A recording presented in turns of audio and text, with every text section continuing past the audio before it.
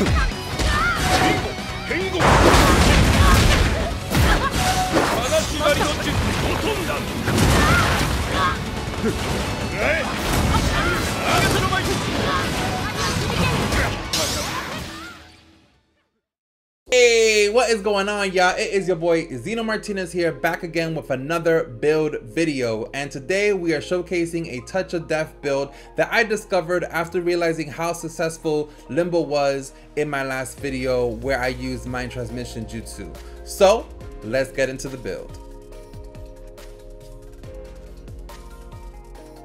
The first jutsu in our lineup is the Limbo Border Jail ninjutsu that is available through the Madara Uchiha 6 Paths DLC that came out not too long ago.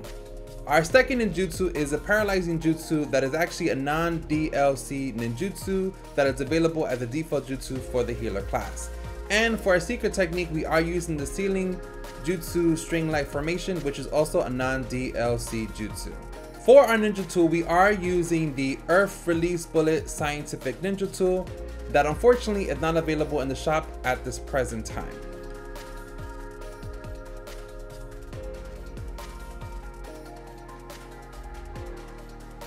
For our clothing stats, we are running all geared up, robust fighter, and just desserts. But if you don't have just desserts as an accessory, I recommend running battle hardened or any other accessory skill that you wish to use for this build.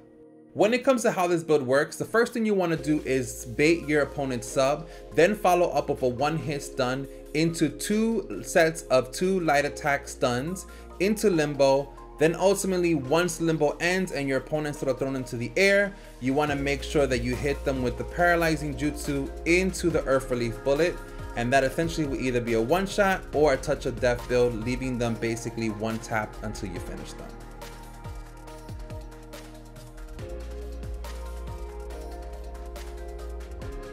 Before getting into clips of the gameplay, I do want to let you all know that unlike the Limbo and Mind Transmission Jutsu, if your opponents attempt to interrupt this combination, you do have the ability to continue the combo.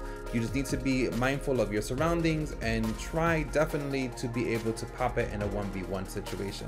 But I do want to clarify that Paralyzing Jutsu, unlike Mind Transmission Jutsu, can capture multiple opponents at the same time. So definitely keep that in mind when using this build in game modes like Survival.